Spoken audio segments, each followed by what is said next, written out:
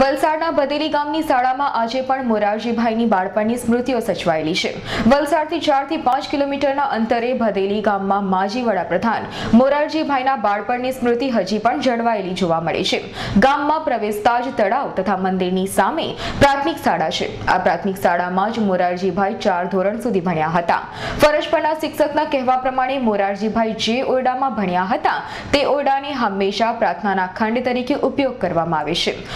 ઓરડામાં ત્રણ સ્ટેપ છે. મોરારજીભાઈના સમયમાં બાળકોને બેસવાના સ્ટેપ પાટિયાના બનાવવામાં આવ્યા હતા. પરંતુ હવે તેને પાકા સિમેન્ટના બનાવી સાચવી રાખ્યા છે. આજે પણ મોરારજીભાઈ દેસાઈને આ પ્રાથમિક શાળામાં યાદ કરાય છે. મોરારજીભાઈના અસ્તિત્વ એમના પદ નથી, પણ એમના કામ હતું.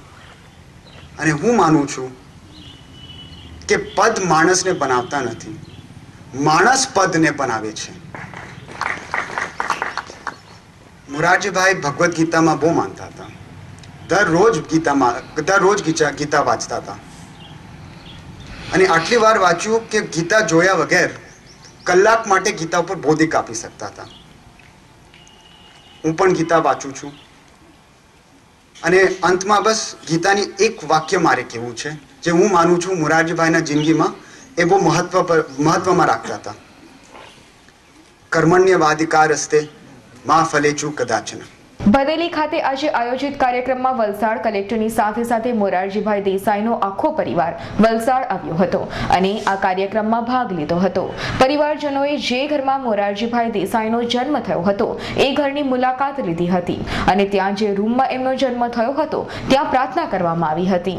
આ સાથે વલસાડમાં જ્યાં મોરારજીભાઈ દેસાઈની પ્રતિમા મૂકવામાં આવી છે, તેને હાર તોરા કર્યા હતા. અને વડીલોની વચ્ચે તેમને યાદ કરવામાં આવ્યા હતા. વડીલોની ફરિયાદ એ રહી હતી કે જે મોરારજીના નામથી વલસાડ જાણીતું છે. તે વલસાડના નગરપાલિકા દ્વારા આ પ્રતિમાને સાફ પણ નહોતી કરાઈ અને કોઈ હાજર પણ રહ્યું નહોતું. Bureau report Valsad.